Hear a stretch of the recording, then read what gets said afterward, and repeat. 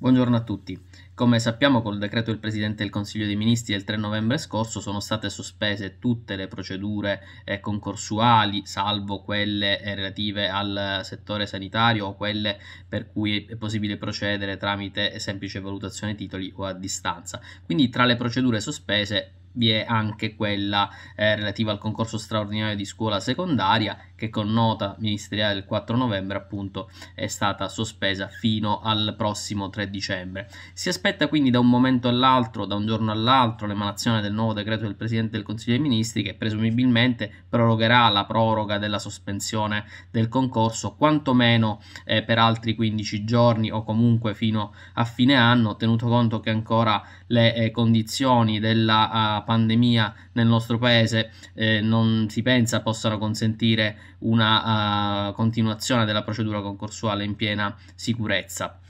Quindi al momento eh, chi è riuscito a, a, svolgere le prove prima della sospensione comunque ehm, eh, sa che le stesse verranno regolarmente corrette così come più volte enunciato dallo stesso ministero. Mentre chi eh, non ha potuto partecipare alle prove scritte per eh, motivi legati alla malattia da covid o comunque mh, ad una condizione eh, di eh, quarantena eh, potrebbe sperare in una sezione suppletiva d'esame. Sappiamo infatti che il Tarlazio la scorsa settimana ha disposto in via cautelare la mh, predisposizione di una sessione suppletiva d'esame per chi eh, per motivazioni oggettive non era eh, riuscito a presentarsi il giorno della prova scritta per lo svolgimento della stessa. Sappiamo infatti che sono migliaia i candidati che o perché in quarantena fiduciaria o in quarantena obbligatoria o addirittura perché ricoverati a causa del Covid quindi per motivi oggettivi non hanno potuto partecipare al concorso.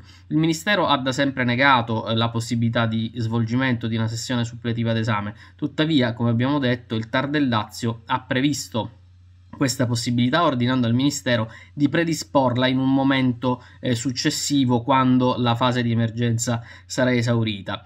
Ma a questo punto eh, ci si attendono sicuramente ricorsi da parte di chi appunto si è visto impossibilitato a partecipare alle prove, però non è detto che il Ministero, tenuto conto della pronuncia del Tarlazio, non apra alla possibilità eh, di svolgimento di prove suppletive per tutti. Vedremo.